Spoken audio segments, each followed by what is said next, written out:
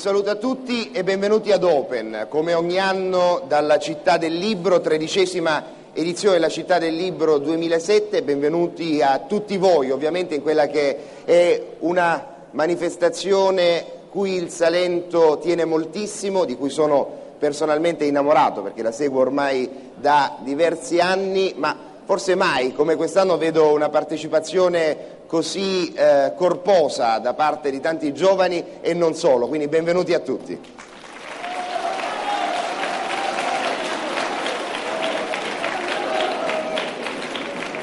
Oggi presentiamo questo libro ed è un gran bel libro, un libro eh, sostanzioso, edito da Besa, è un libro di Maglio Castronuovo che saluto subito perché Buongiorno è qui a a fianco a me, a cui veramente dobbiamo fare un applauso e vi spiego subito perché.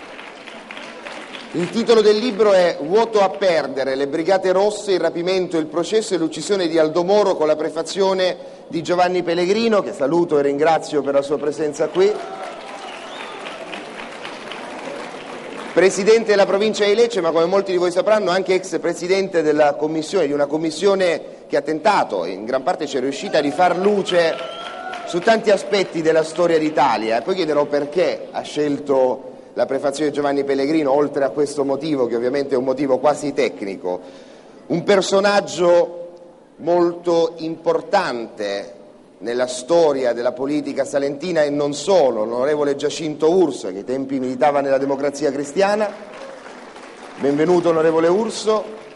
Un giornalista, un giornalista, ma un giornalista che ha avuto anche un'importantissima militanza politica nella democrazia cristiana prima e nel Partito Popolare Italiano poi, Tonio Tondo, grazie Tonio per la tua presenza qui alla Città del Libro. Dicevo, un libro interessantissimo e che io rispetterò molto. Lo rispetterò molto innanzitutto perché ha una caratteristica che raramente i libri, soprattutto eh, i libri che in qualche modo appartengono al filone della saggistica, eh, ha la caratteristica di farsi leggere di getto, cioè una pagina incuriosisce a girar pagina, un capitolo e un paragrafo incuriosiscono a proseguire nella lettura. E poi dicevo che merita un applauso veramente perché? Perché Maglio Castronuovo, l'autore, non è il classico professore universitario di storia contemporanea. Maglio Castronuovo è un consulente di marketing che supporta lo sviluppo e la competitività delle piccole e medie imprese, quindi diciamo che nella vita fa tutt'altro e nel tempo libero porta avanti da sempre una sua personale ricerca nelle zone d'ombra della storia contemporanea italiana, di cui sicuramente la Fermoro è uno dei momenti più importanti. Per cui io eh, non voglio rubare molto tempo nella mia presentazione perché eh, già moltissimi di voi si sono prenotati per gli interventi, oltre 10 persone, per cui inviterò tutti sul palco a fare una brevissima domanda ai nostri, ai nostri ospiti. Io farò un brevissimo giro iniziale, partendo ovviamente dall'autore, eh, cui chiedo eh, proprio l'esperienza personale, la scrittura di questo libro, quasi nei ritagli di tempo, frutto del lavoro di anni però.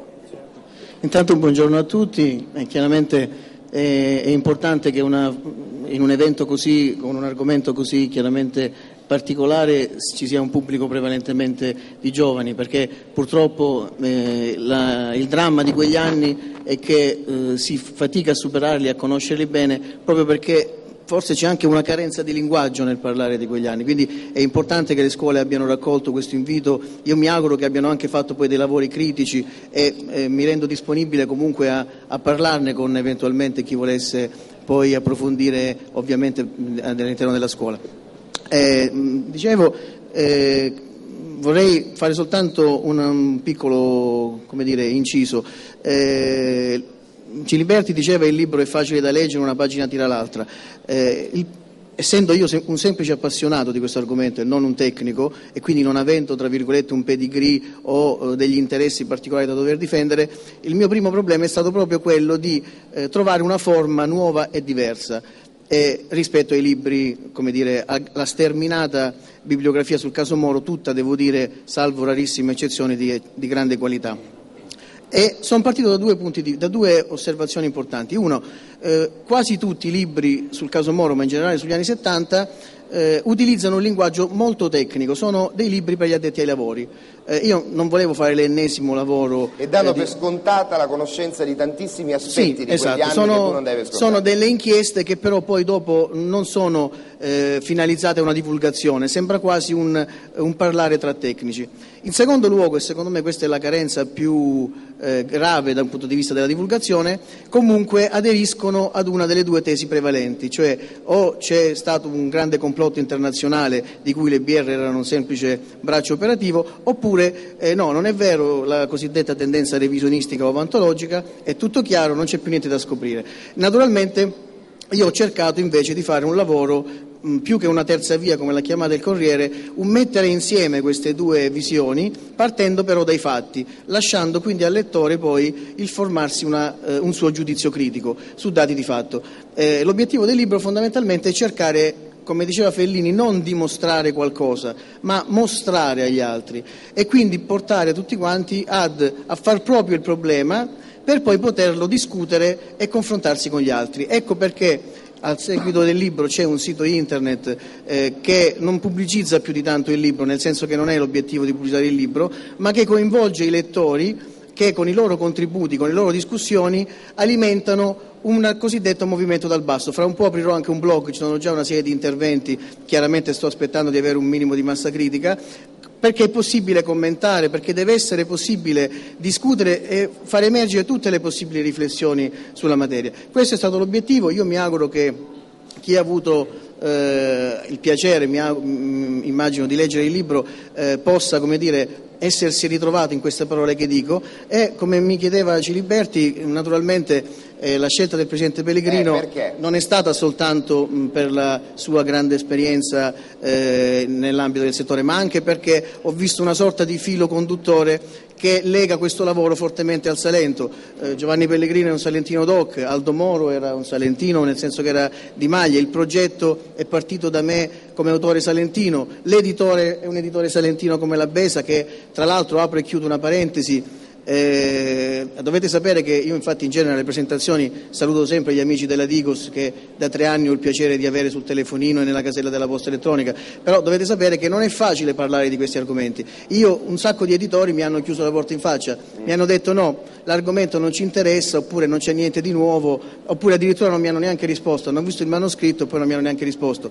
La Besa invece, devo dire, ha apprezzato l'approccio, ha apprezzato la struttura modulare, ha apprezzato l'onestà intellettuale e ha avuto anche il coraggio poi di fare suo come progetto. Quindi un grazie davvero a tutti e vorrei ripassare la parola a Ciliberti.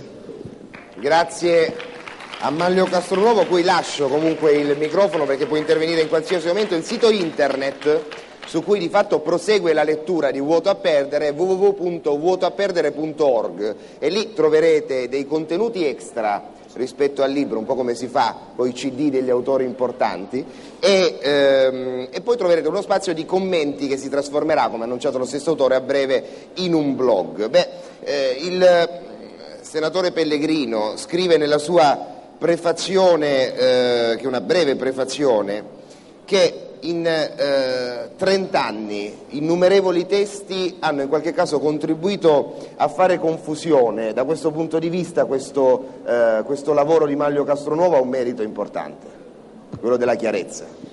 Sì, direi di sì. e io penso che il libro di Castronuovo precederà nell'anno che verrà una serie di altri libri sul caso, sulla vicenda Moro, perché sono, siamo alla soglia del trentennio.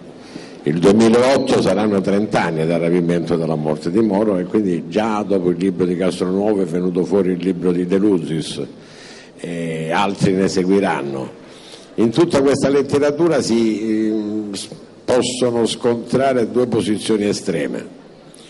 Quelli che sostengono che ormai sul rapimento di Aldo Moro si sa tutto, che alcuni punti non chiariti sono punti marginali, che anche se venissero chiariti non cambierebbero lo scenario, e quelli che invece sostengono che nel caso Moro ancora non si è capito niente, che le Brigate Rosse abbiano agito su mandato internazionale, e che lo stesso svolgimento dell'attacco di Viafani, della prigionia di Moro, della sua condanna a morte, della sua esecuzione, sono completamente diversi da come sono stati accertati dai giudici.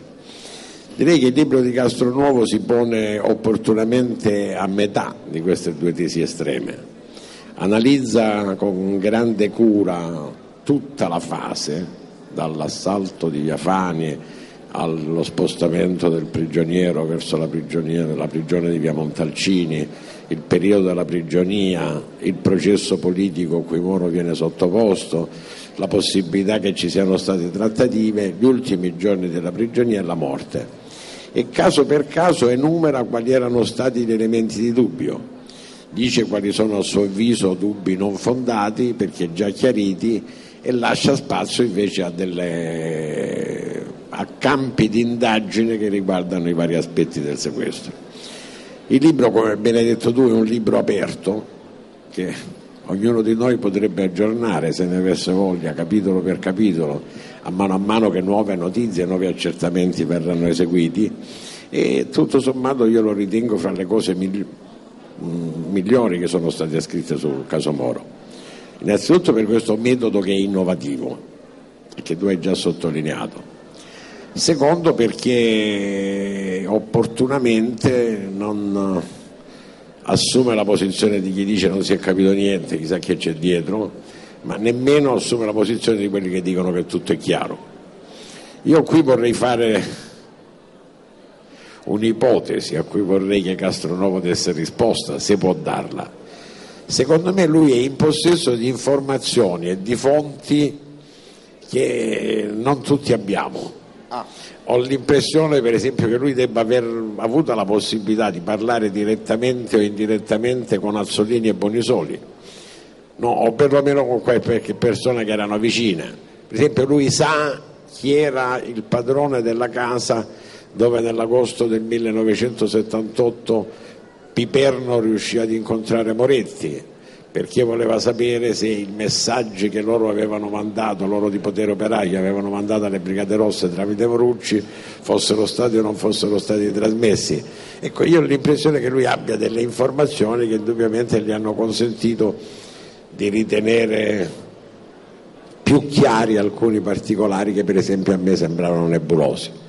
Poi però non so se rispondendo alle domande dei ragazzi io sono fra quelli che ritengo che Moro sia stato preso prigioniero dalle Brigate Rosse, che le Brigate Rosse erano un fenomeno prettamente italiano, erano la punta dell'iceberg di una stagione terribile che il Paese ha vissuto, in cui, cari ragazzi, un'intera generazione di italiani, donne e uomini della vostra età fecero scelte politiche estreme e molti di loro ricorsero alla violenza sanguinaria delle armi.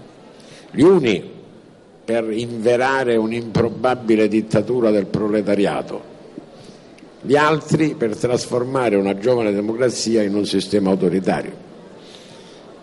E Moro era il principale uomo politico del paese, ecco, se non spieghiamo questo non capiamo perché dopo 30 anni ne stiamo ancora parlando.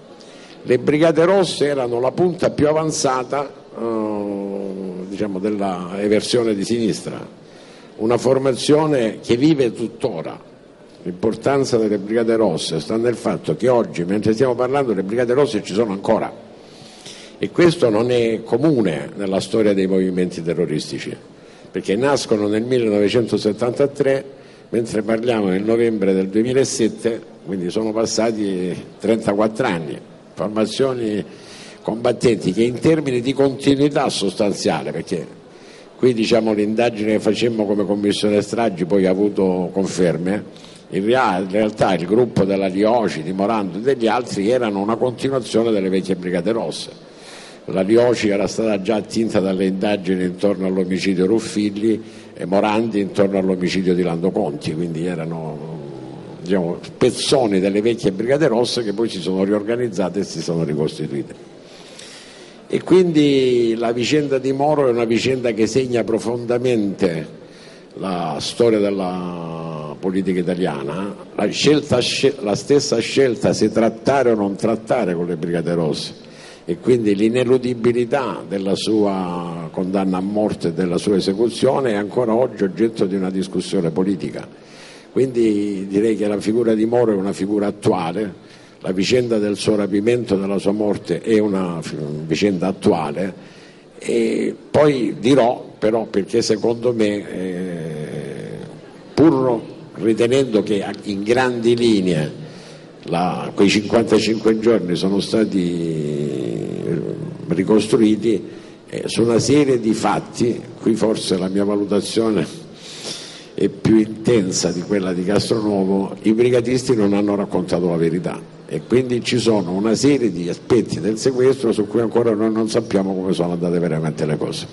Abbiamo la fortuna di avere a fianco proprio al senatore Pellegrino un eh, testimone importante dell'epoca, del, dell'epoca che era l'epoca Moro come personaggio più importante della politica italiana. Io chiedo eh, all'onorevole Urso, che ha letto il libro di Maglio Castronuovo, di tentare di spiegare a tutti noi, essendo io vicino alla vostra età, anagraficamente quello che era veramente lo scenario culturale, sociale, giornalistico, dell'opinione pubblica in quegli anni e in quei giorni, in particolare eh, all'interno del paese e del, del, Salento in particolare, che aveva un'attenzione in più nei confronti di Moro per le origini che aveva questo statista, che io chiamo statista. Ma io sinceramente mh, faccio un po' fatica ad intervenire su questo tema, anche per motivi personali e intimi, perché come lei accennava ho avuto la possibilità di godere della sua amicizia, di scambiare frequentemente i nostri pensieri sia nell'interno del Partito della Democrazia Cristiana e sia in Parlamento, ma anche fuori da questo ambiente politico e da questo ambiente parlamentare. Non sempre ho condiviso i suoi pensieri, però ho mantenuto come si doveva dialogo e rispetto e lo incontrai due giorni prima del rapimento, sentì anche quali erano le sue angustie sul momento politico e aveva anche con sé delle amarezze personali per quello che si scriveva sul suo conto circa tutti questi marchingegni per formare quel nuovo governo presieduto da Andreotti. Io cercai così umilmente anche di dire qualche parola quasi di conforto, la sua autorevolezza non aveva bisogno e dissi che poi in fin di conti, nel contesto della democrazia cristiana e del Paese, si voleva bene a Moro anche perché era una figura prestigiosa e sicuramente pulita. Lui mi lasciò con una frase molto amara e ogni tanto queste frasi eh, le ho raccolte altre, quando mi richiamava a certe prudenze diceva prima di parlare taci, e mi invogliava quindi meglio a pensare, ad essere cauto. Quella sera, ripeto, due giorni prima del rapimento, di fronte a questa mia elegia della sua persona, mi disse ricordati che di bene si può anche morire. Qualcuno può vedere in queste parole, che so così, quasi un destino dell'uomo, ma così non era, cioè lui manteneva sempre questi aspetti di scetticismo. Devo aggiungere ancora che oltre al momento politico che ho convissuto, non certo da protagonista, io sono stato sempre un uomo politico di periferia, ma da osservatore, devo dire che mi toccò anche un, un, un triste, una triste occasione, mi toccò quello cioè che mentre con l'onorevole Cagliati mi avviavo verso Piazza del Gesù per eh, conoscere qualche notizia sulla sua sorte, ci imbattemmo proprio in via Caetani e quindi de viso ho dovuto vedere ecco, questa, eh, quest'uomo rannicchiato in una Renault rossa con gli occhi socchiusi, ripiegato, con una coperta bottata così lungo il suo corpo,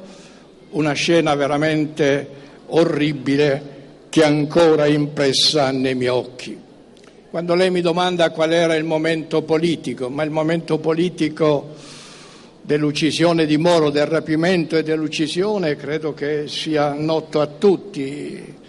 Si andava ad una svolta politica eh, di rilievo, si aveva un governo Andreotti che proprio quel giorno doveva ricevere eh, il voto di fiducia eh, delle Camere e questo fatto impensieriva molta gente sia nel contesto eh, italiano ma per quel che pare anche nel contesto eh, internazionale, anche perché perché per la prima volta i comunisti... Ecco perché, dico, ecco perché... il microfono anche al Presidente Pellegrino così interagite. No, cioè volevo dire perché era la prima volta che i comunisti uscivano a scena aperta a sorreggere il governo Andreotti. Poi a sua volta eh, tutto questo era stato preceduto da un appassionato suo discorso rivolto ai gruppi parlamentari dove ero presente eh, come deputato per convincere innanzitutto noi stessi cioè per convincere i democratici cristiani a comprendere la gravità dell'ora, a comprendere anche l'importanza della scelta e quindi possibilmente a condividerla. Quindi questo disagio era, era grosso nel paese, era grosso, non so se poi le brigate rosse si siano mosse anche per centrali estere, qualcuno ha riferito di un burrascoso colloquio tra l'onorevole Moro e l'allora ministro degli esteri americano Kissinger, tutto questo che si dice però su questo dobbiamo stare come devo dire, molto accorti. Io sono rimasto impressionato, caro Presidente Pellegrino, caro Antonio Tondo e caro autore del, del libro, caro Ciliberti e cari amici tutti, anche di una recente intervista da parte del mio amico fraterno Cossiga. Abbiamo la stessa età e quindi un po' di rimbambimento ci accompagna, almeno certamente mi accompagna, perché sentir dire che a un certo punto il cerotto che portava derivava da una lite in famiglia, ecco, mi sembra tutta questa storia romanzata di fronte invece a uno scenario politico che lei mi sollecitava così a ricordare, che era molto pesante, era molto grave, era innovativo e veniva a scompigliare le carte. Oggi si dice eh, che si scompigliano le carte pure per il PD e per l'iniziativa Berlusconi, ma l'iniziativa di Moro in quei tempi era così un'iniziativa proprio fuori da quelli che erano stati i paletti tradizionali. Che cosa dire? Ecco, io vorrei solamente annotare una cosa per quanto riguarda il libro di Castronuovo. Mi complimento, mi complimento anche con la nostra Besa perché ogni tanto a questi nostri editori no? non è che dobbiamo fare solamente l'omaggio delle parole, ma dobbiamo anche rendere, rendere eh, testimonianza di quanto coraggio hanno oppure a pubblicare specialmente questo tipo di libri. E mi è piaciuto proprio Castronuovo perché dice a chiare lettere non è quasi mai possibile quando si parla del caso Moro, di essere portatori di affermazioni perentorie e definitive. e allora lui fa un'attenta ricostruzione, forse non si sofferma molto su quel tempo politico che viviamo, ma è un problema anche forse generazionale. Se io fossi stato capace di scrivere, non sarei stato capace di scrivere un libro, un libro sulla Fire Moro, certamente mi sarei forse più mantenuto su che cosa accadeva in quel momento, sia a livello nazionale, poi con ripercussioni anche nella nostra periferia. Ci fu un comitato provinciale, eh, eh, come devo dire, caro Tonio, se ti ricordi, epico, se bisognava essere per la linea della fermezza o, invece eh, bisognava rispettare la scelta eh, che avevano fatto alcuni per la trattativa, come i socialisti, quindi anche in periferia questo fatto si sentiva, in questa periferia maggiormente perché pur essendo deputato di Bari la sua radice eh, nativa era certamente qui da Lecce che amava a modo suo, ecco, anche questo bisogna un po' forse ricordare, non era certamente l'uomo eh, che poteva essere una specie di, di crollalanza, eh, i giovani non lo sanno, un grande ministro eh, che fece, prese un, un, bilancio intero dello Stato e fece Bari come, come, la fece, era un uomo molto pacato su questo piano, quindi non è che aveva una grande tifoseria. Un'ultima osservazione ecco, che vorrei fare noi parliamo intorno a questo affare Moro sempre.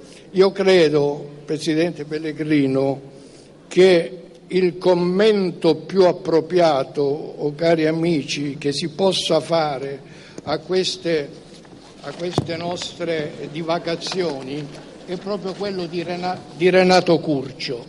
Renato Curcio, lei riporta una frase che io sconoscevo di Renato Curcio, la devo dire, vabbè, ne sconoscevo tante, ma questa in particolare perché vedete quanto è sibillino ecco, Renato Curcio.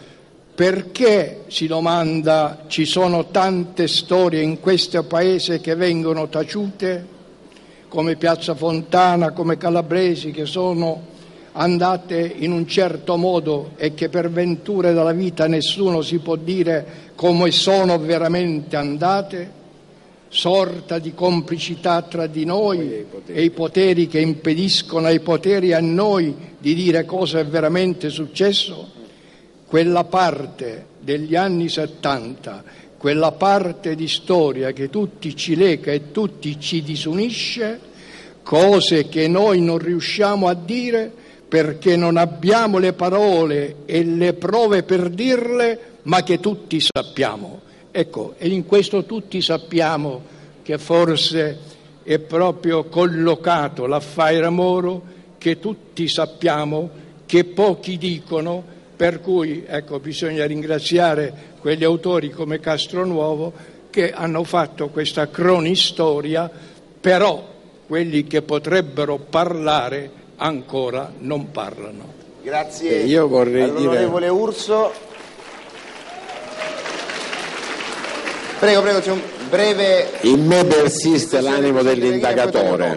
Vorrei dire a, all'amico Urso che a quella frase di Curcio, che Curcio pronuncia in un discorso di commemorazione di Rostagno, io ho dedicato diverse pagine, sia di relazione della Commissione, sia del libro segreto di Stato, però a te vorrei fare una domanda. Ma quando lui, lui ti disse delle idee si può ancora morire, quando Moro ti disse per le idee si può anche morire, no? più o meno hai detto questa frase. Tu avesti l'impressione che lui avesse una paura della, per la sua incolumità fisica? Perché questo è uno dei punti in discussione. La famiglia Moro ha sempre detto che Moro era preoccupato, aveva chiesto l'auto blindata e non l'aveva avuta, in fondo in quell'intervista di Cossiga riecheggia questa vecchia polemica fra il ministro dell'interno e la famiglia Moro e che il capo scorta Leonardi era molto preoccupato cosa che è un po' contraddetta dal fatto che in realtà in via Fani ci avevano i mitra nel portapagagli. Se fossero stati preoccupati in realtà li avrebbero tenuti ai piedi per poter rispondere subito al fuoco. Quindi questo è uno dei punti non chiariti della storia, perché la famiglia dice lui era preoccupato dell'incolumità fisica, Leonardi era preoccupato, eccetera, e invece eh, poi ci sono segnali che così non fosse. Lei ebbe questa impressione in pochissimi Ma, secondi, eh, onorevole Urso. Io, guardate, io l'ho trovato molto turbato quel giorno, erano due giorni prima. Per vicenda politico perché però, della faceva pa- però questo faceva parte pure del suo essere e del suo, e del suo atteggiamento. Lo trovai molto turbato, però era anche l'uomo dei silenzi, cioè le preoccupazioni non è che le esternava, quasi quasi erano preoccupazioni come dire, che venivano da certi gesti, ecco, da certo anche batter ciglio certe volte. Cioè, Era la solita preoccupazione per le sorti del cioè paese, Io quindi. pensai che era solamente una sofferenza interna Mm. e che non avesse proprio questi grandi, questi grandi timori. D'altra parte, come ha, notato il, il Presidente Pellegrino, quella mattina in fin dei conti lui aveva un itinerario ben preciso, doveva andare in chiesa, eh, portava le borse, eh, portava documenti, pare in queste borse molto importanti. Però ecco, lui poi era anche, come devo dire, ostaggio, la parola è brutta, ecco, della provvidenza in cui lui credeva. Ecco. Tonio Tondo, ehm, cosa possiamo aggiungere sul, ritra- sul ritratto dell'uomo Aldo Moro e eh, poi vorrei anche un eh, racconto brevissimo per cenni del dibattito salentino no? dell'epoca durante il rapimento di Moro, di cui lei fece Sì, parte. io però vorrei approfittare un momentino della presenza dei ragazzi perché secondo me questa figura, tanto è una figura straordinaria. eh. Castronuovo si chiede ma perché Moro? Perché non Andreotti, non Taviani, non Cossiga, non oh, un altro esponente politico? Perché Moro? Beh, dobbiamo dirlo, Moro era l'uomo più in gamba, più intelligente e più straordinario di, di quell'epoca storica. Aveva una capacità di lettura degli avvenimenti, di lettura delle trasformazioni della società. E quindi aveva una cultura anche, come devo dire, molto sensibile, molto, molto aperta, aperta al dialogo. Tra l'altro è l'uomo che dice perché la democrazia italiana superi la sua debolezza occorre che i due grandi partiti dell'epoca, cioè la democrazia cristiana e il partito comunista, si confrontassero. Mentre oggi si dice o di qua o di là, allora Moro era l'uomo invece del dialogo, dell'apertura Anche fra posizioni lontanissime. anche tra posizioni lontanissime. E questa grande capacità culturale, secondo me, è uno degli elementi che spiazzano un po' la politica anche dell'epoca. Ci stanno due le- lettere, io mi, mi scuso un momentino, io ho detto all'autore, a Castro, ho detto guarda, nel tuo blog, nel tuo sito, introduce anche queste lettere che fanno conoscere l'uomo Moro. no? Lui scrive delle lettere dal carcere brigadista, le scrive ai suoi familiari, a sua moglie soprattutto, ma anche ad amici, anche ad esponenti politici. Una delle prime lettere, io ve ne cito due, una di carattere politico e l'altra di carattere intimo, perché c'è un Moro politico, ma c'è poi un Moro padre di famiglia, genitore, nonno. Le lettere più belle, le parole più belle, Moro le dedica al nipote Luca. Che solo dire che sul sito internet www.vuotaperdere.org si può scaricare proprio il memoriale, per cui No, ma io parlo delle lettere. No, no, beh, Sì, già sì, che- sì. già che però- le- già che lo possiamo beh, dire. eh, allora ci stanno, eh, allora ci stanno. eh.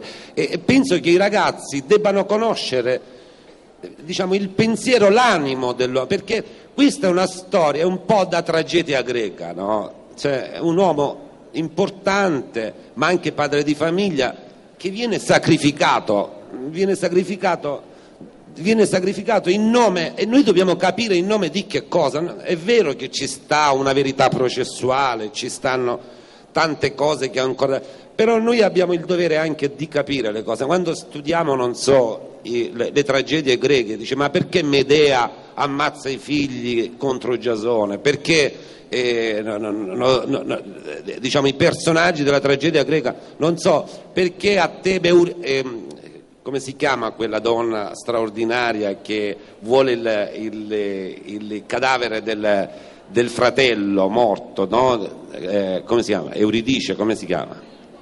Come? Antigona, Antigona bravissima. Ecco. Allora, allora, Moro è una dei... Bravissima, Antigona. Moro, Moro, è, perso... Moro è andato in... L'altra sera a Roma è stata fatta una rappresentazione teatrale. Allora, dice Moro a Cossiga in una lettera, dice mi trovo sotto un dominio pieno e incontrollato, sottoposto a un processo popolare.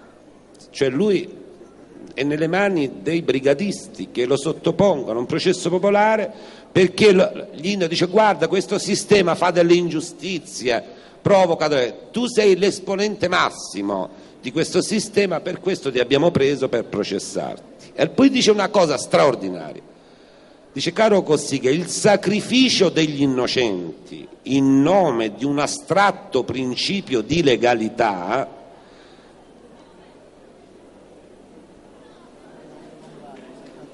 No, di, in principio di legalità, no.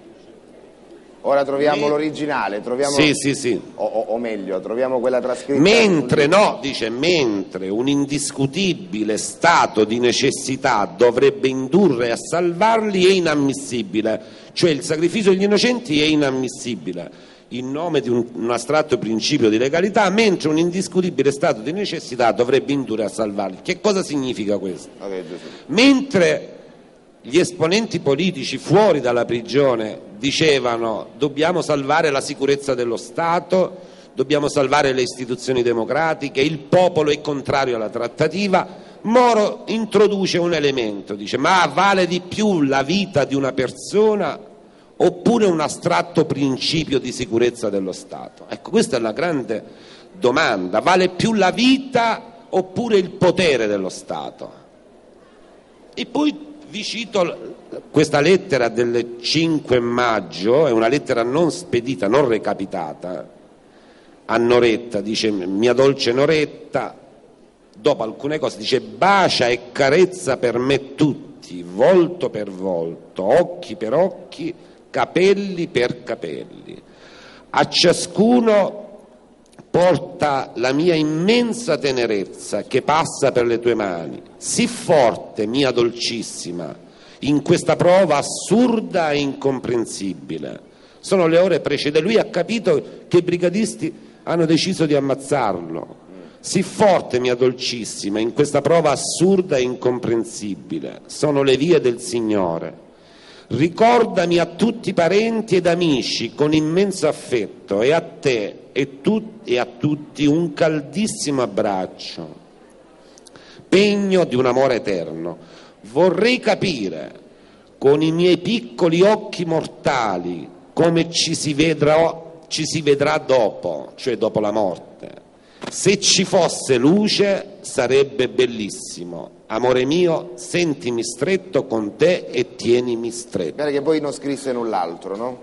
Questa è, l'ultima, e questa è l'ultima lettera, questa è l'ultima lettera a Noretta, almeno quella che viene censita come ultima lettera. Cioè, Moro ha una grande distanza culturale dai brigatisti, i brigatisti lo interrogano, pensano che abbia i segreti della Nato, vogliono sapere le cose internazionali, il ruolo dell'Italia.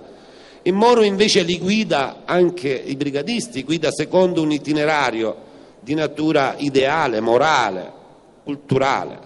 Dall'altra parte c'è il potere esterno, il potere esterno dice dobbiamo salvare lo Stato, il popolo ci chiede, la gran parte della gente era scesa in piazza per chiedere la, la linea di fermezza. Moro è schiacciato, è schiacciato tra questi due opposti, tra queste due culture che sono tutte e due culture della morte, quella dei brigadisti, cari ragazzi, è una cultura della morte perché in nome dell'ideologia processano un uomo per ammazzarlo, tra l'altro ammazzano un uomo giusto, un uomo mite, non ammazzano uno che magari si è macchiato di, una, di, di, di gravi, di gravi nefasti. Quindi Moro respinge questa ideologia della morte e respinge anche l'ideologia e la cultura di chi dice dobbiamo difendere lo, stra- lo, Stato a tutti i costi, le istituzioni devono salvare le vite umane, ecco questo dice Moro.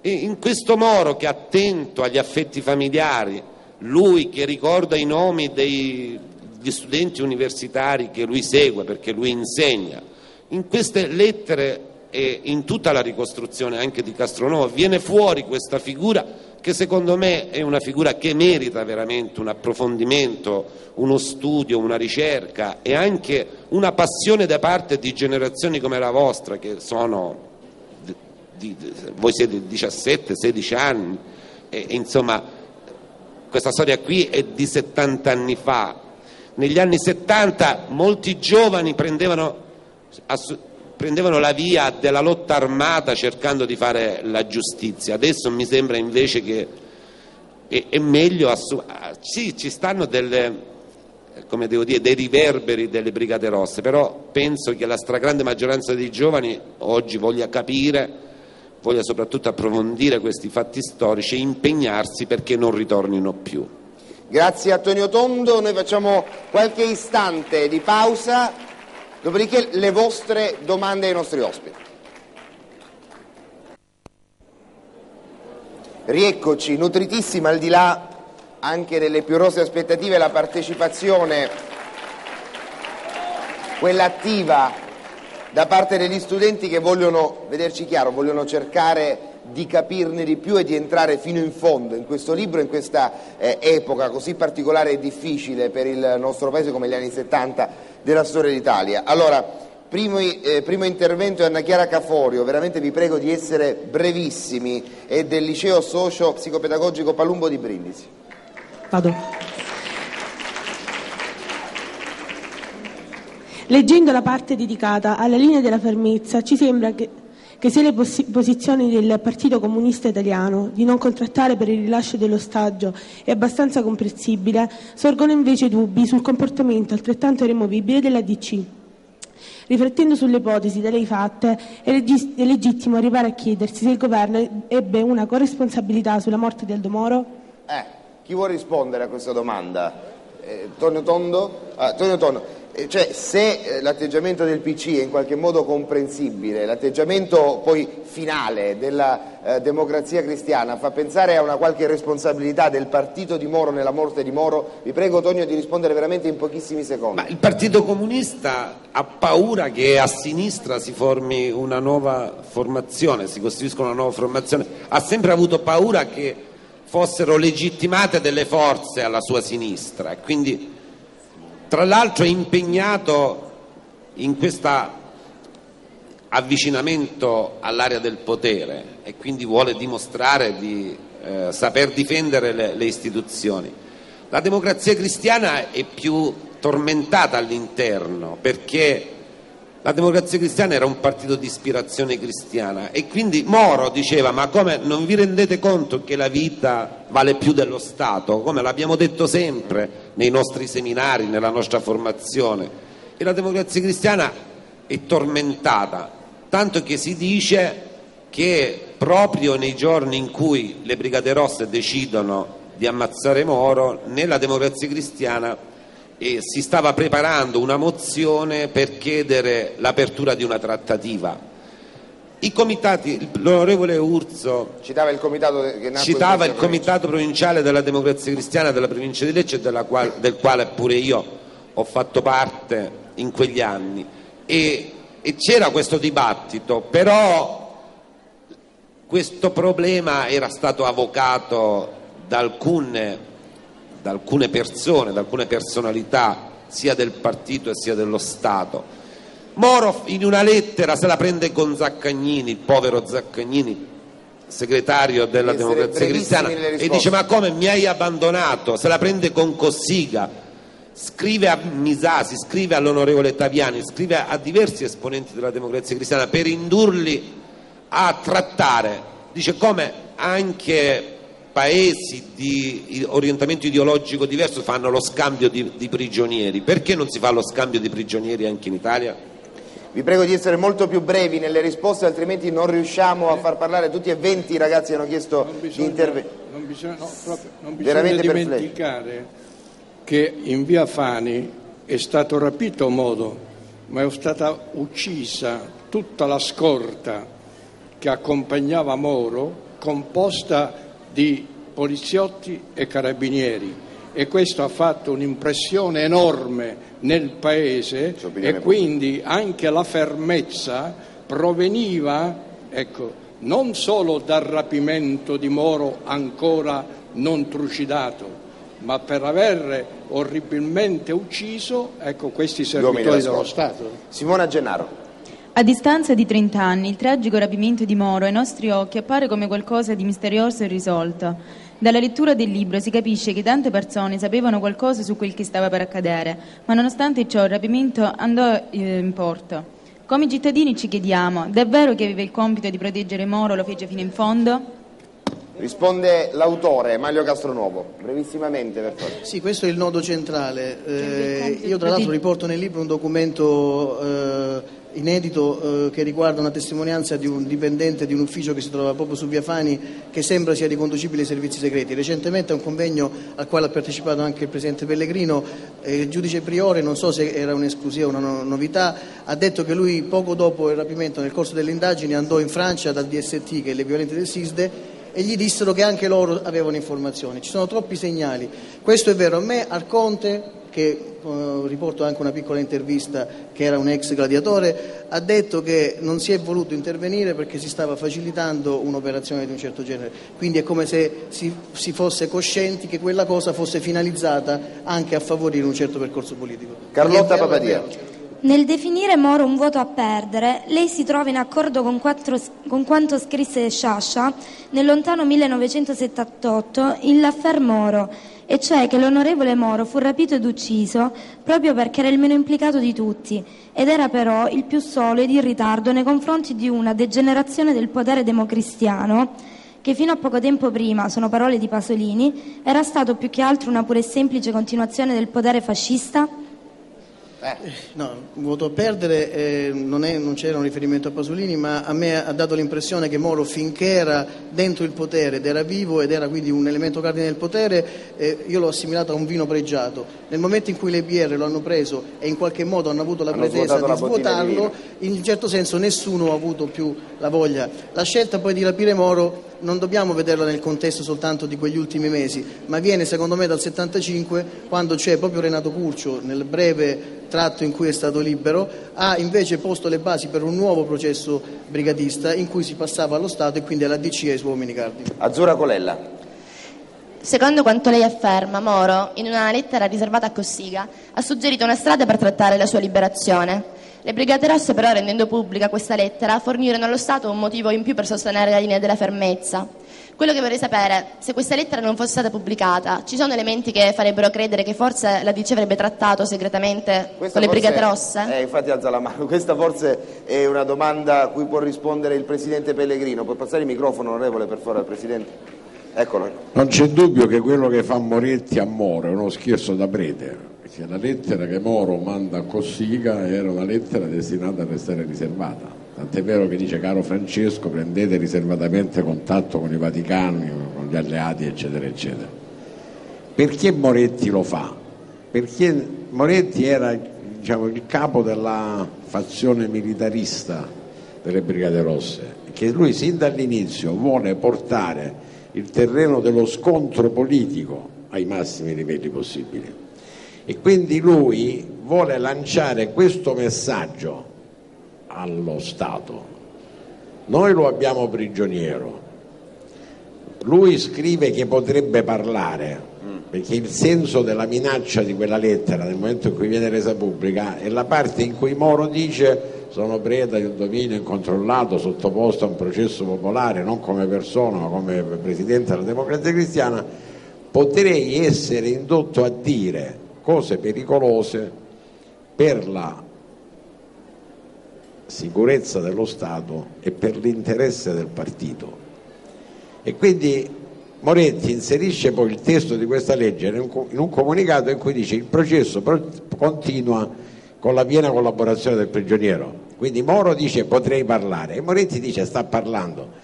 Da quel momento il problema non è soltanto la, la vita di Moro, la vita fisica dello stagio, ma da quel momento il problema è i segreti che, lo, che Moro poteva stare raccontando alle Brigate Rosse.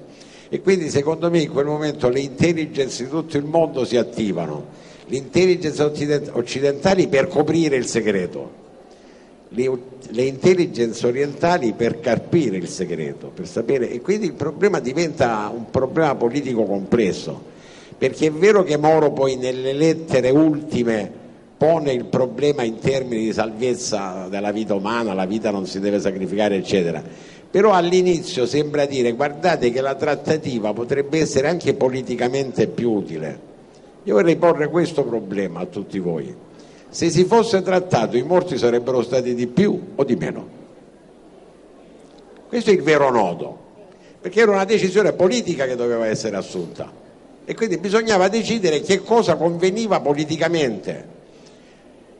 Le Brigate Rosse, secondo Moretti, conoscono la loro fase più sanguinaria. Lui ha parlato di raccolto rosso, ha citato Hammet, Red Harvest.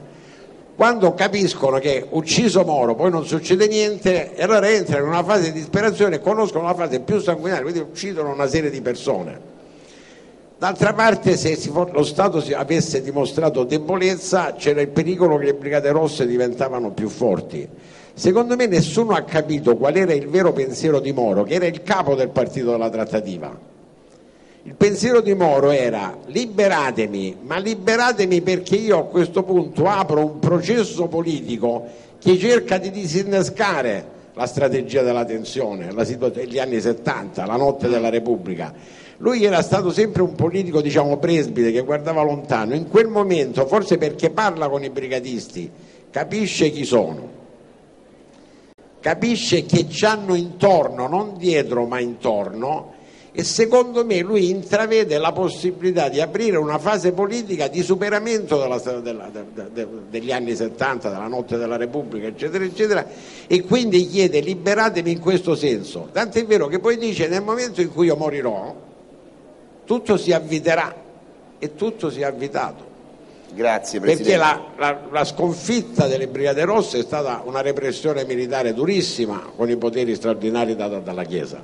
Ma la situazione politica italiana si involve certo. e conosce tutta la stagnazione degli anni Ottanta e noi ancora oggi il problema politico degli anni di piombo non siamo riusciti a risolverlo. Grazie Presidente. Federica Cincinnato, se la risposta è stata più lunga le prossime saranno di nuovo brevissime. È questo, certo. Federica Cincinato.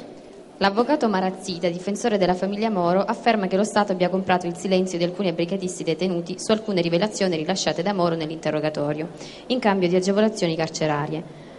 Siccome i brigatisti non hanno mai confermato ciò, ci sono delle prove che confermano la dichiarazione sostenuta dall'avvocato della famiglia Moro, difensore della famiglia Moro? Mi sa che deve rispondere di nuovo il Presidente Pellegrino, chiediamo un flash veramente al di là di ogni dubbio è stato stretto, in particolare da piccoli, quello che io chiamo il patto di indicibilità, una serie di particolari sulle trattative che ci sono state, poi tutti dicono la trattativa non c'è stata, vero, ci sono state diverse trattative, sono state, eh, come si dice, scambiate dai brigatisti per una serie di vantaggi carcerari e eh, dallo Stato perché era bene che una serie di cose non si sapessero. Io provai a mandare un collega di Giliberti, Remondino, a parlare con Azzolini e Bonisoli e disse ma insomma ormai una serie di cose io le ho capite perché non ce le venite a raccontare per esteso. La risposta fu ma se noi facessimo quello che Pellegrino dice lui farebbe un figurone, ma a noi che vantaggio ne verrebbe? E quindi di a Pellegrino di non romperci più le scatole. Ah, Serena Prezioso. Lei afferma che la DC aveva adottato la linea della fermezza e aveva respinto la possibilità di uno scambio dei prigionieri. Così i brigatisti storici detenuti proposero come alternativa il miglioramento delle condizioni carcerarie. Ma tale proposta non è stata sostenuta da nessuno, tantomeno da Craxi, che pure era favorevole allo scambio dei prigionieri. Tutto ciò non le sembra contraddittorio? Castronuovo. Eh, allora, mh, questa cosa io l'ho chiesta direttamente a Guiso, che era la- l'avvocato che all'interno eh, diciamo, del processo di Torino, al nucleo storico delle Brigate Rosse, difendeva molti brigatisti. E, e Guiso mi ha detto che non corrisponde al vero, anzi era molto arrabbiato con, con Alberto Franceschini che aveva rilasciato all'interno del, del libro scritto con Giovanni Fasanella questa dichiarazione. Quindi io infatti se non sbaglio poi dopo eh, faccio questa correzione. Nel resto eh, la- proprio i brigatisti in prigione dicevano a conferma di cosa si diceva prima, dialettizzatevi con Moro, il vero capo della trattativa fondamentalmente era Moro. Maria Carmela Padula. Sulla possibile presenza di una componente esterna nel gioco della trattativa tra DC e BR per la liberazione di Moro, lei invita a leggere gli articoli di Paolo Cucchiarelli pubblicati sul giornale Diario nel 2003. Di cosa si tratta? Si tratta della vera essenza, secondo me, del caso Moro. Io in un, in un paragrafo, l'ultimo credo del, del capitolo delle trattative, eh, parlo dell'indicibilità a cui faceva riferimento il Presidente Pellegrino. Nel blog parlo di indecifrabilità, cioè ci sono delle cose indicibili, ma non sono indecifrabili. Io, io credo, e ho ragione di avere delle informazioni a tal senso, che non è vero che non ci siano state trattative, le trattative ci sono state, sono state a livelli alti, ci sono stati degli incontri diretti molto probabilmente tra esponenti delle istituzioni ed esponenti delle Brigate Vedo il Presidente Rosse. Annuire su questo. Eh, ci mancherebbe. E, e quello che era eh, un filone di chiesa, che tra l'altro è la vera novità dell'intervista di Cossiga, perché Cossiga ha fatto tutto un macello dicendo che mille comunisti sapevano la prigione di Moro, cosa falsa, eh, la cosa di Gallinari anche probabilmente non eh, precisissima, ma per lanciare un preciso in- in- filone di indagine, che però a me risulta, e il Presidente mi- se- non so se mi conferma, che nel 2004 dalla Procura di Roma è stato archiviato, che è la famosa inchiesta sull'anello. Quindi non è vero secondo me che non ci siano state delle cose, cioè sono indecifrabili perché probabilmente se venissero oggi fuori crollerebbe una gran parte dell'establishment. Noemi Vergari. No, forse il Presidente voleva aggiungere... Sì, prego, prego, Presidente. Io sono perfettamente d'accordo con Castronovo, il problema è che nemmeno la- la- l'autorità giudiziaria vuole saperne.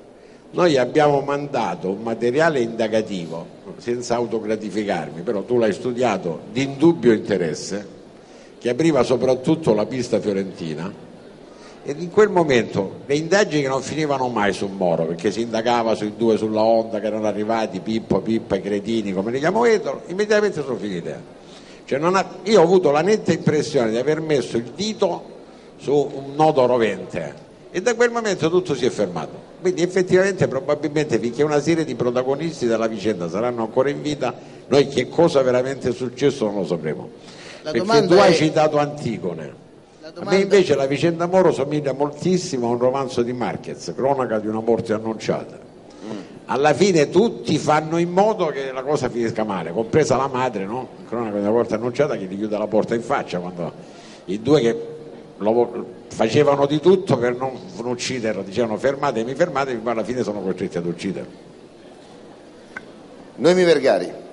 Eh, no, eh, Giulia Calignano, eh, liceo classico Palmieri. Ah, siamo ok. Sì, allora nel, nel testo emergono alcuni ambigui rapporti tra eh, alcuni deputati DC e mm, capi e l'organizzazione mafio- mafiosa. Io vorrei sapere se successivamente alla vicenda Moro siano state avviate commissioni d'inchiesta o processi nei confronti appunto di questi eh, deputati, eh, di questi rapporti. L'onorevole Urso. Vabbè, in quel me- momento se ne sono dette tante, ognuno ha cercato anche di portare un suo contributo e a ricercare delle persone che potessero sbloccare la situazione, che potessero, c'è stato, eh, ci sono state anche sedute spiritiche e via di seguito, cioè erano dei tentativi estremi che si, che si compivano, per cui non è che si possono mandare a processo queste persone che hanno tentato in qualche maniera eh, di bucare i misteri delle Brigate Rosse. Io sono convinto che Moro comunque sarebbe stato ucciso dalle Brigate Rosse perché se c'è stata una gestione eh, veramente, come devo dire, mm, così, non allineata al caso da parte delle autorità costituite, anche la gestione da parte delle Brigate Rosse in, qualche, in, in più di qualche momento è stata qualcosa di strano e le lotte tra di loro ci sono state, non si sanno, ma ci sono state anche perché proprio il giorno della morte c'era qualcuno che faceva parte del gruppo delle Brigate Rosse ma non sapeva che l'esecuzione era immediata, tanto che io vorrei dire all'autore del libro voto a perdere, forse non conveniva mettere un interrogativo?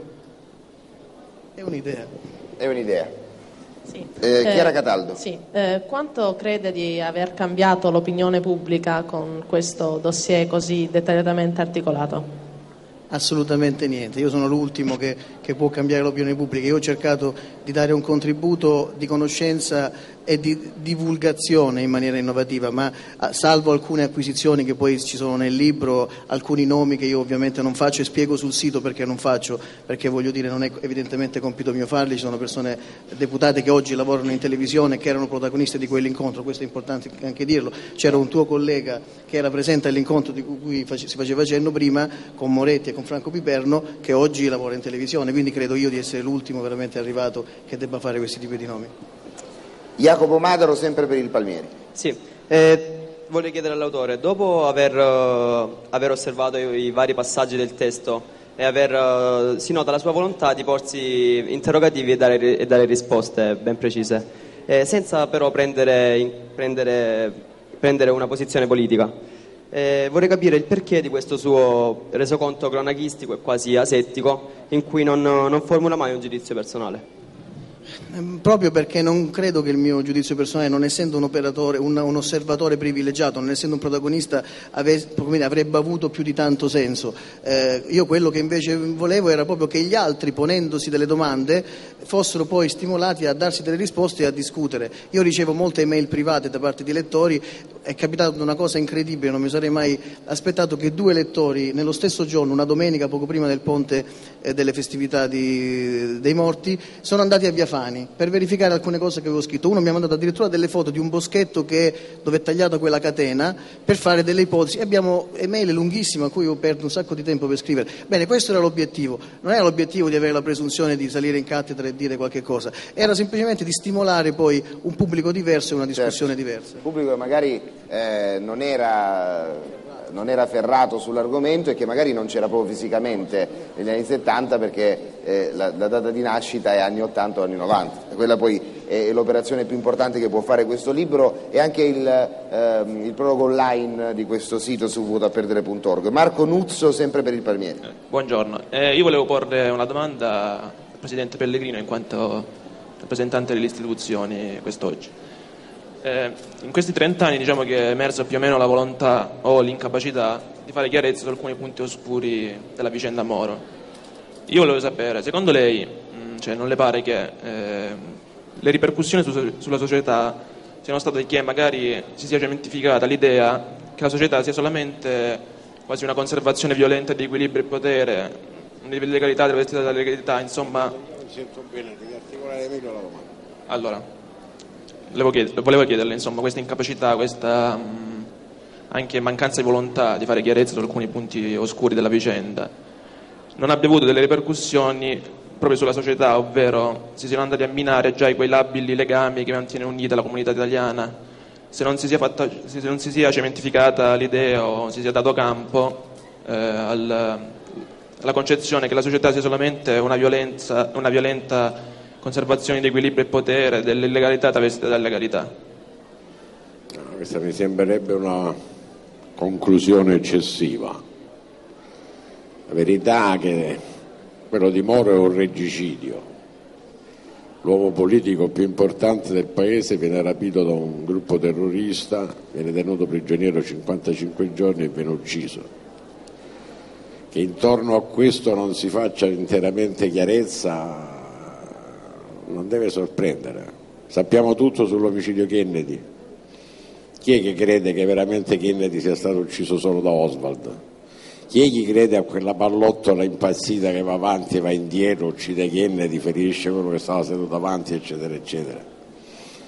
Ma pure sull'uccisione di Umberto II ci sono tanti punti di marginalità. Una vicenda di una complessità politica enorme, che ancora oggi permangano ambiti di ambiguità, di oscurità, che però non sono dei, no, sempre marginali, secondo me è abbastanza normale. Fa parte della storia. Ancora adesso ci, ci domandiamo, ogni tanto esce un libro che dice ma Napoleone a Sant'Elena morì di malattia o fu lentamente avvelenato dall'arsenico. Quindi ci sono Thomas Mann nella prefazione della saga di Giuseppe e sui fratelli dice senza fondo il pozzo della storia. Dovremmo forse per questo dirlo insondabile. Io penso che con il tempo tasselli di verità emergeranno e il quadro diventerà più chiaro, più completo, però questo non deve giustificare niente non giustifica niente. Il problema dell'illegalità in Italia ha altre radici. Non penso che se sapessimo tutto sul caso Moro improvvisamente diventeremmo un paese migliore. Ecco. È vero che non si è capito tutto, è vero che ci sono nervi dolenti che non, che non possono essere toccati, probabilmente c'è anche qualche prezzo di impunità, che prezzo di impunità che è stata pagata, persone che sapevano che erano contigui alle Brigate Rosse, che hanno parlato con Dalla Chiesa, che hanno consentito a Dalla Chiesa di fare quell'azione repressiva durissima ed efficacissima che Dalla Chiesa fecero, però in cambio hanno contrattato l'impunità. Eh, però era una guerra, diciamo, la guerra si vince anche con altri mezzi, come è noto. Tutto questo non, però non giustifica la situazione politica italiana. La verità è che la politica italiana ha perduto moltissimo con la morte di Moro Moro era un politico presbite, guardava lontano, prefigurava sempre scenari che si sarebbero realizzati dopo qualche anno. Lui è morto, tutto questo è finito e noi oggi abbiamo una politica che è legata alla quotidianità, perché tutti i politici sono sempre preoccupati se quello che stanno dicendo in questo momento la sera poi li fa salire, non li fa scendere l'indice di popolarità, se è gradito o non è gradito la politica deve sapersi nutrire anche di pensieri lunghi. Diciamo che in Italia questa capacità l'abbiamo purtroppo perduta e che Moro, la perdita di Moro ha molto segnato. La storia della Prima Repubblica è stata una storia dinamica, estremamente dinamica fino alla morte di Moro. Poi abbiamo avuto la stagnazione degli anni Ottanta e poi abbiamo avuto questa Seconda Repubblica che sta sempre in mezzo al guado e forse risolve la transizione tornando dalla sponda da cui era partita. Erika Scarano. Sì. Eh, vorrei chiedere delle delucidazioni in merito al comportamento dello Stato riguardo alla faccenda Moro, poiché sembra più impegnarsi a eh, evitare che le informazioni eh, che Moro avrebbe potuto trasmettere alle Brigate Rosse piuttosto che a salvargli la vita. Antonio Tondo. Ma lo Stato... E l'ha sfiorato prima questo argomento. Sì, no, eh, però ma Moro veramente delle, delle, aveva veramente segreti della Nato? Io, io non penso che Moro sia, sia, sia, persona, sia stata una persona che... Sì, lui aveva rapporti con esponenti per esempio dei servizi segreti, ma più per una questione di sicurezza personale, non per avere i segreti della Nato. No, io non penso che Moro fosse una di quelle figure, se mi, se mi, chiedono di Cossiga può darsi Cossiga sì, perché lui ha proprio la passione di, di conoscere queste cose, ma Moro proprio no. Secondo me lo Stato non ha trattato, io ho seguito le cose che ha detto Giovanni Pellegrino, per sua debolezza, cioè per sua debolezza. Ci sono state esperienze di scambi di prigionieri, ma lo Stato italiano non era forte, aveva paura di trattare. È vero che c'era stata l'uccisione dei componenti della scorta per cui c'è stata una grande reazione popolare. Sicuramente questo è vero, però secondo me è perché le istituzioni italiane erano troppo deboli, non potevano permettersi il lusso di trattare e avevano bisogno del sacrificio di Moro. Non è solo un regicidio, secondo me è anche un sacrificio per rafforzare i poteri dello Stato. Grazie a Tonotondo. Marina Cillusi. Si dice che al caso Moro è legata ehm, la, il volto politico eh, dell'Italia, che sia cambiato proprio in seguito alla morte di Moro. e, e che quindi di conseguenza sia collegata alla fine della Prima Repubblica e il fallimento del compromesso storico. Mi rivolgo all'autore. Che cosa pensa che sarebbe accaduto se Moro non fosse stato ucciso? Oltre all'autore, su questo vorrei sentire anche l'onorevole Urso. Vabbè, il mio sarebbe un semplice giudizio personale, quindi penso che non conti molto. Forse più l'onorevole Urso, avendo vissuto diciamo, politicamente quegli anni. Ha vissuto poco il passaggio la, politico. La, la eh. doma- la domanda è legittima, però Eh, certo. eh, dico, andare a capire che cosa eh, sarebbe accaduto se Moro fosse stato vivo mi pare entrare nel mistero mh, eh, ancora di più nel mistero perché è stato preso Moro, perché è stato ucciso e forse avremmo risolto anche in maniera molto lineare tutti questi accadimenti. Certamente, come ha detto già il Presidente Pellegrino, eh, la uccisione di Moro ancora oggi ecco, echeggia quando tutto manca vengono fuori tutti questi libri, con tutti questi libri viene anche eh, la curiosità, eh, tra virgolette, dei giovanissimi di capire questo, questo momento così travagliato, eh, però ecco, io eh, non credo che eh, tutto quello che è avvenuto dopo l'uccisione di Moro sia avvenuto solamente per l'uccisione di Moro. Gli scenari sono cambiati perché sono cambiati anche gli scenari internazionali e vorrei dire a Tonio Tondo che la tesi che Moro non conoscesse eh, quelli che potevano essere, eh, come devo dire, dei disegni strategici riservatissimi della Nato è una tesi che ha portato avanti anche nell'ultima, eh, confer- nell'ultima eh, intervista il Presidente Cossica. Questo però non mi convince perché un Presidente del Consiglio e oltretutto, attenzione, un Presidente del Consiglio che sembrava a prima vista quando si parlava distratto, ma che niente meno riusciva certe volte nell'interloquire a citare cose che erano accadute a Lecce, a Bergamo, altrove, in maniera molto minuziosa che un Presidente poi del Consiglio non possedesse in sé tutto quello che riguardava la difesa atlantica, gli scopi, le prospettive e via di seguito. La verità vera la verità, anzi non diciamo la verità vera perché visto che stiamo in questo magma eh, di incertezza, ecco perché parlavo dell'interrogativo sul titolo del suo libro, la verità vera è che mh, si vantano tanto le, le, le brigate rosse di aver compiuto questo rapimento e questa uccisione, però lì hanno trovato pure la loro insufficienza e la loro tomba, non tanto per la fermezza dello Stato, ma per l'incompiutezza loro, che sì, erano dei, guerrigli- dei- dei guerriglieri politici che volevano fare questo atto che è stato eclatante e crudele, ma non è che sono stati molto all'altezza, anche perché continuano ad essere reticenti e in certo modo anche dei vigliacchi. Grazie onorevole, abbiamo quasi concluso. L'ultima domanda è quella di Gaia Giannone e poi le conclusioni da parte di Maglio Castelnuovo. Volevo chiedere all'autore chi sono i destinatari dell'opera nello specifico, per chi l'ha scritta, diciamo. Io come ho più, come ho più Fa un volte po' alla detto, Manzoni lui, lo, no, lo non è, preannuncia. non è- sì, esatto, non è, io forse per deformazione professionale, occupandomi di marketing, mi chiedo sempre chi è poi il cliente che deve apprezzare un certo tipo di prodotto, quindi eh, ho cercato di rivolgermi a- non necessariamente alla persona esperta, eh, ma a portare una persona a- da una semplice passione, come era quella mia, a voler entrare nei fatti eh, senza però avere la pretesa di voler dare prima delle risposte, tant'è vero che la struttura è a domande, non è a risposte, cioè non, non- non si conclude con la, con la risposta.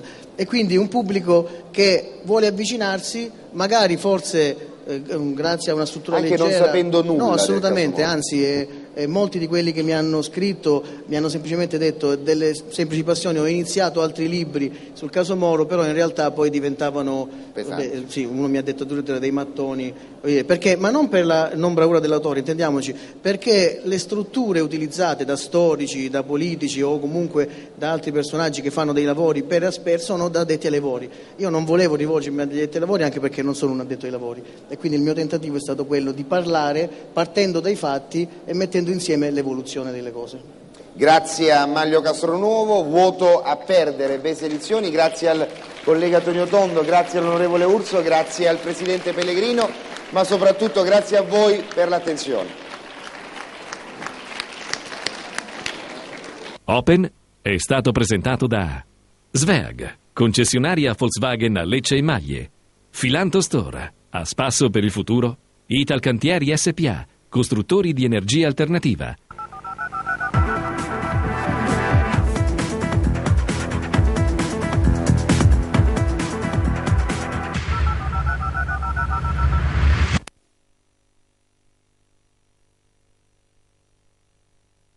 capisce che ci hanno intorno, non dietro ma intorno, e secondo me lui intravede la possibilità di aprire una fase politica di superamento della, della, de, degli anni 70, della notte della Repubblica, eccetera, eccetera, e quindi chiede liberatemi in questo senso. Tant'è vero che poi dice nel momento in cui io morirò, tutto si avviterà e tutto si è avvitato.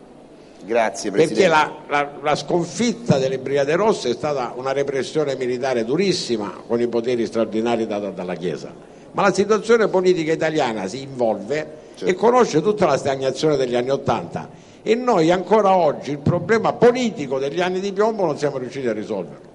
Grazie Presidente. Federica Cincinnato, se la risposta è stata più lunga le prossime saranno di nuovo brevissime. È questo, certo. Federica Cincinato.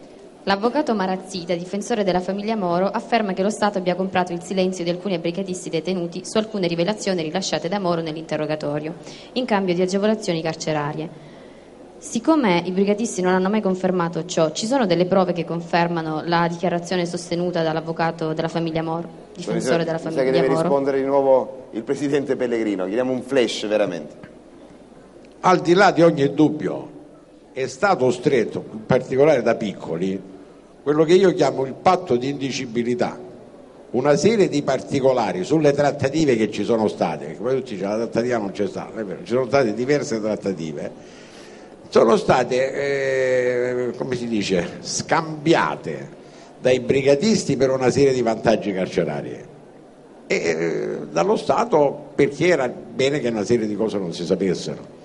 Io provai a mandare un collega di Giliberti, Remondino, a parlare con Azzolini e Bonisoli e disse ma insomma ormai una serie di cose io le ho capite perché non ce le venite a raccontare per esteso?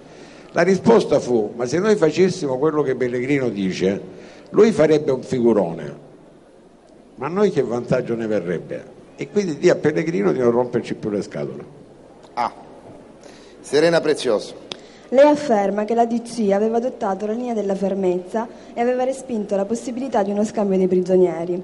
Così i brigatisti storici detenuti proposero come alternativa il miglioramento delle condizioni carcerarie.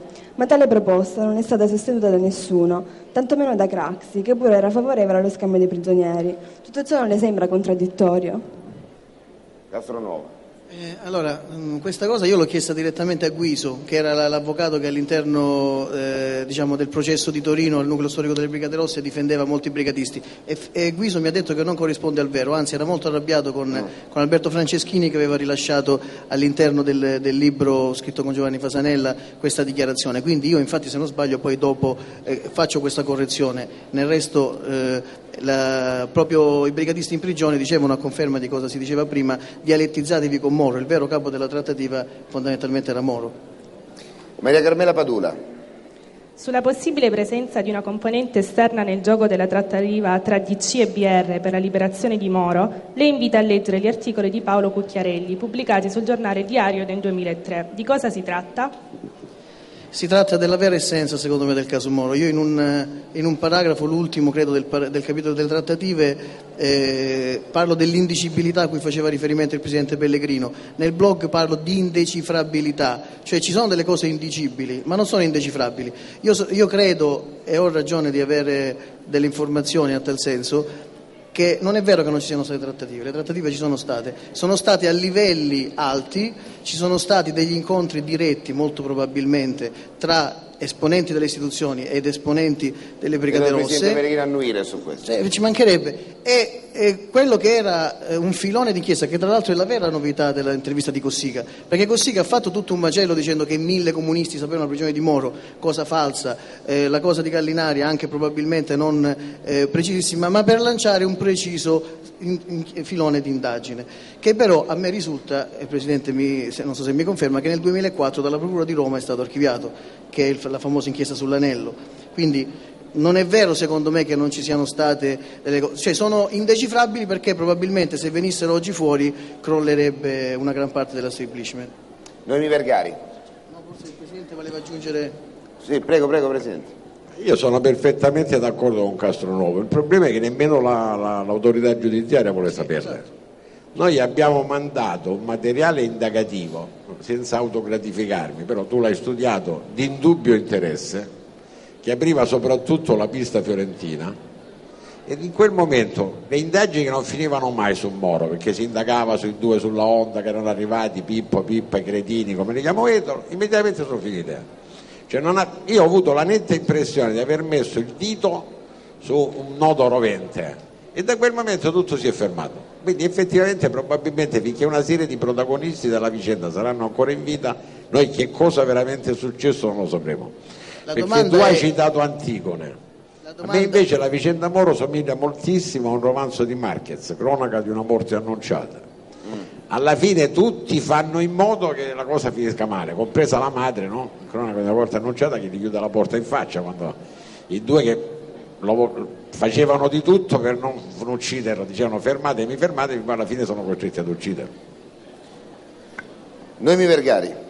Eh, no, eh, Giulia Calignano, eh, Liceo Classico Palmieri. Ah, siamo ok. Sì, allora nel, nel testo emergono alcuni ambigui rapporti tra eh, alcuni deputati DC e mm, capi e l'organizzazione mafio- organizzazione mafiosa. Io vorrei sapere se successivamente alla vicenda Moro siano state avviate commissioni d'inchiesta o processi nei confronti appunto di questi eh, deputati, eh, di questi rapporti.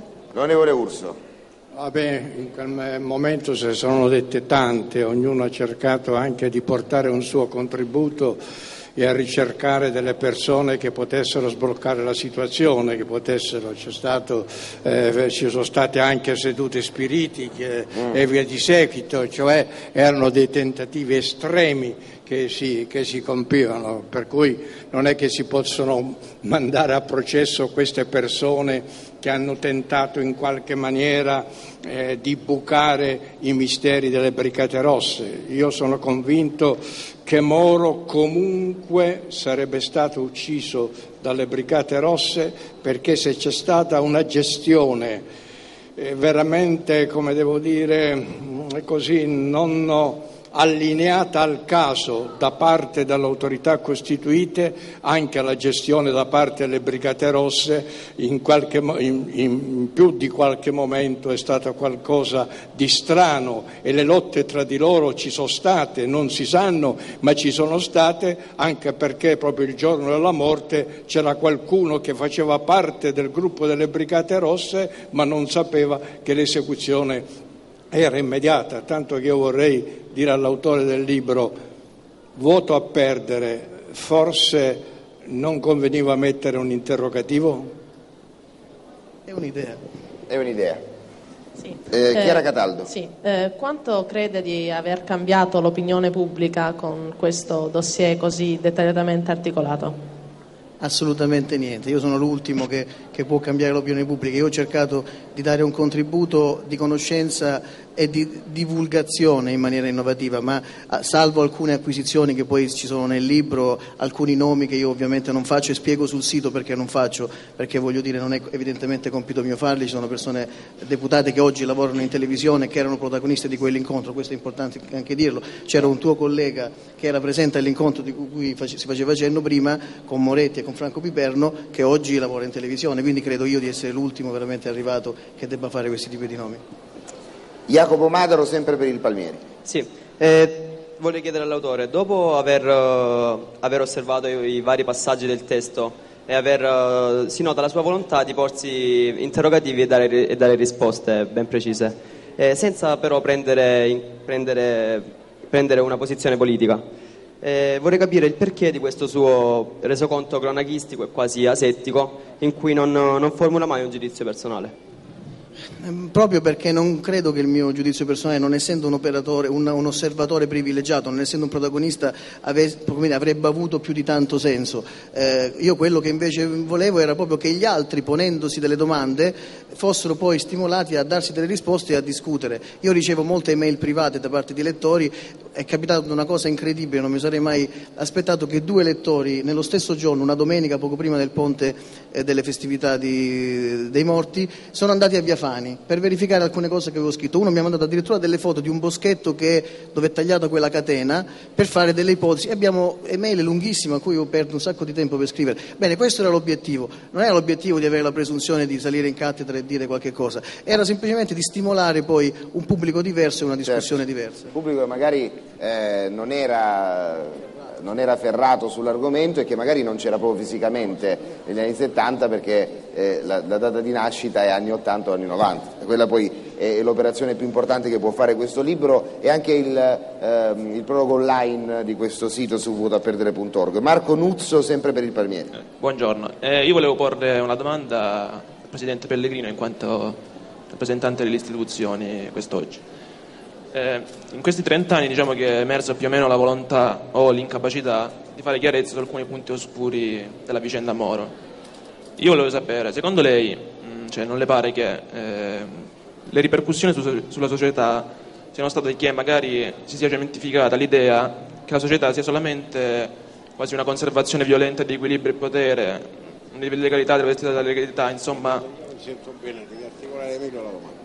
Allora, volevo, chied- volevo chiederle, insomma, questa incapacità, questa mh, anche mancanza di volontà di fare chiarezza su alcuni punti oscuri della vicenda, non abbia avuto delle ripercussioni proprio sulla società, ovvero si siano andati a minare già quei labili legami che mantiene unita la comunità italiana, se non si sia, fatta- se non si sia cementificata l'idea o si sia dato campo eh, al- alla concezione che la società sia solamente una, violenza, una violenta conservazione di equilibrio e potere, dell'illegalità travestita da legalità.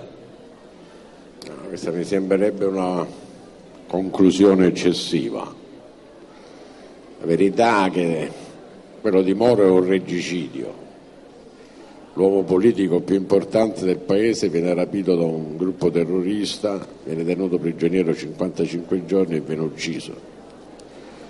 Che intorno a questo non si faccia interamente chiarezza non deve sorprendere. Sappiamo tutto sull'omicidio Kennedy. Chi è che crede che veramente Kennedy sia stato ucciso solo da Oswald? Chi è che crede a quella pallottola impazzita che va avanti e va indietro, uccide Kennedy, ferisce quello che stava seduto davanti, eccetera, eccetera? Ma pure cioè, sull'uccisione di Umberto II ci sono tanti punti di marginalità. Una vicenda di una complessità politica enorme, che ancora oggi permangano ambiti di ambiguità, di oscurità, che però non sono dei, no, ma- sempre marginali, secondo me è abbastanza normale.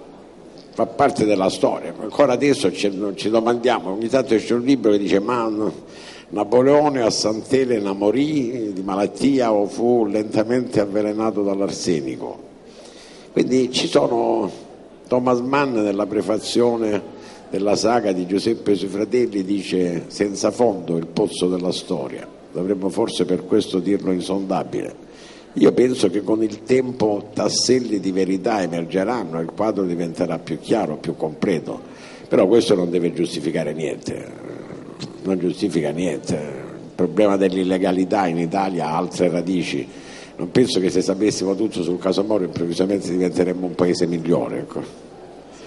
È vero che non si è capito tutto, è vero che ci sono nervi dolenti che non, che non possono essere toccati, probabilmente c'è anche qualche prezzo di impunità, che prezzo di impunità che è stata pagata, persone che sapevano che erano contigui alle Brigate Rosse, che hanno parlato con Dalla Chiesa, che hanno consentito a Dalla Chiesa di fare quell'azione repressiva durissima ed efficacissima che Dalla Chiesa fecero, però in cambio hanno contrattato l'impunità. Eh, però era una guerra, diciamo, la guerra si vince anche con altri mezzi, come è noto.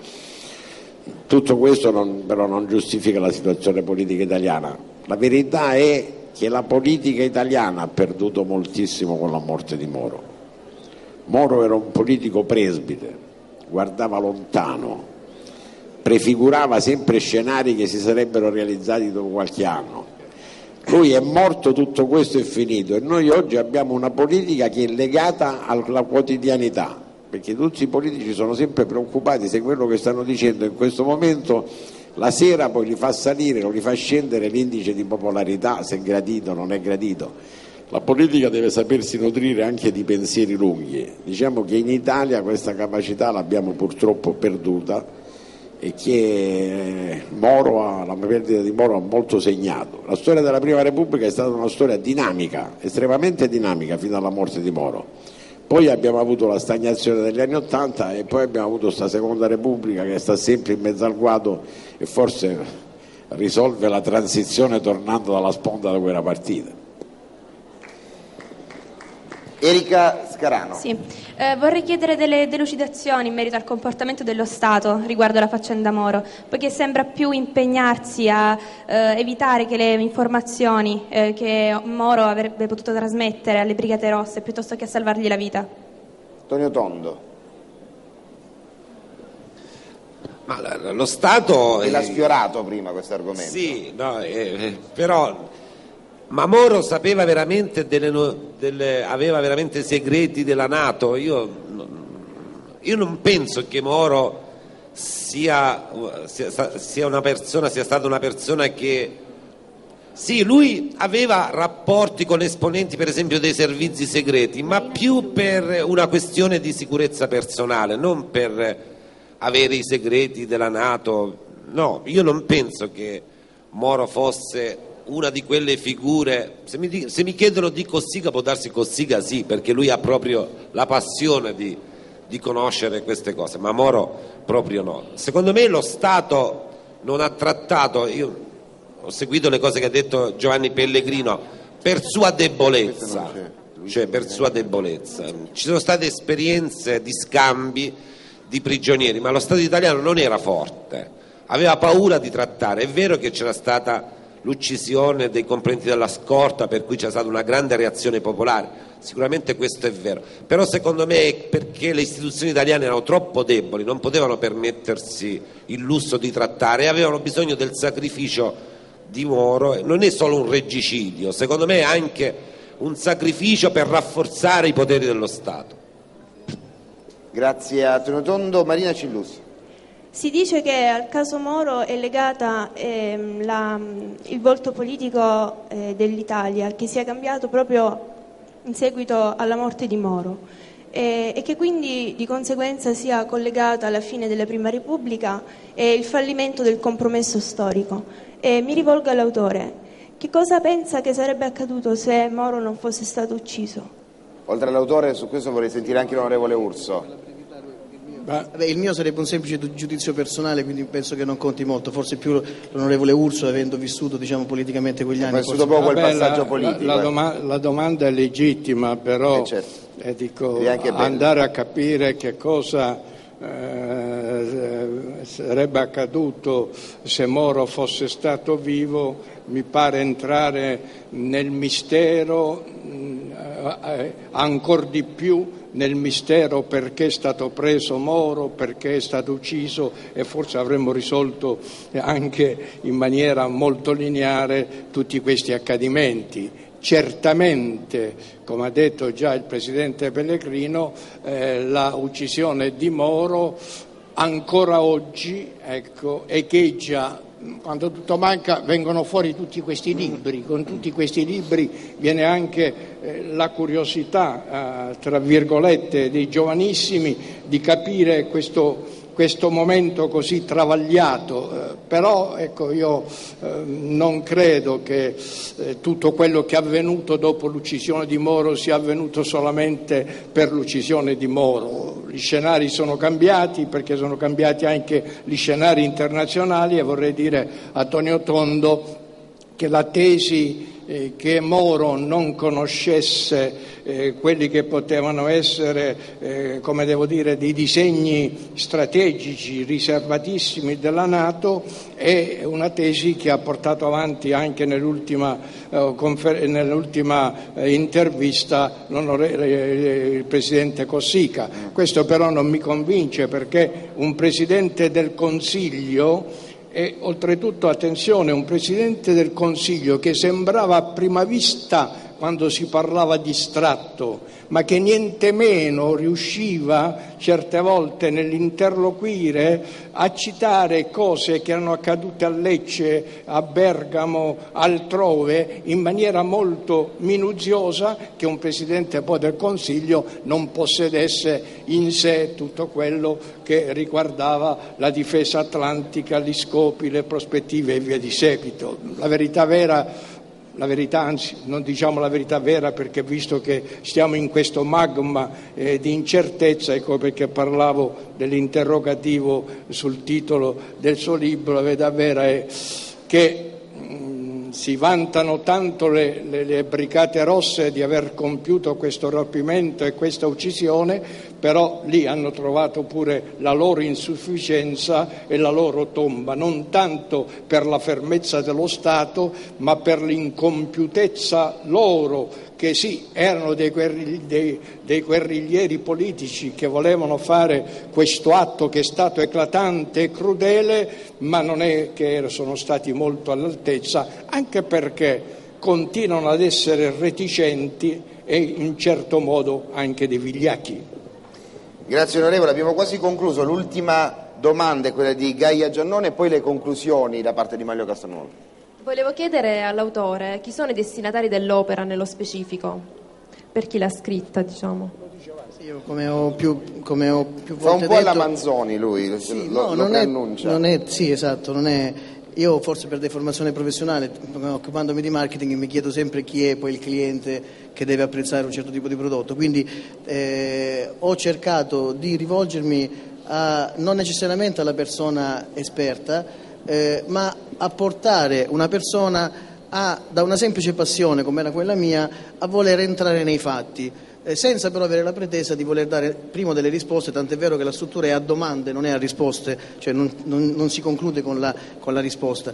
E quindi un pubblico che vuole avvicinarsi, magari forse eh, grazie a una struttura Anche non leggera... sapendo nulla No, assolutamente, anzi eh, eh, molti di quelli che mi hanno scritto mi hanno semplicemente detto delle semplici passioni, ho iniziato altri libri sul caso Moro, però in realtà poi diventavano, vabbè, eh, sì, uno mi ha detto addirittura dei mattoni, perché, ma non per la non bravura dell'autore, intendiamoci, perché le strutture utilizzate da storici, da politici o comunque da altri personaggi che fanno dei lavori per asper sono da addetti ai lavori. Io non volevo rivolgermi ad addetti ai lavori anche perché non sono un addetto ai lavori e quindi il mio tentativo è stato quello di parlare partendo dai fatti e mettendo insieme l'evoluzione delle cose.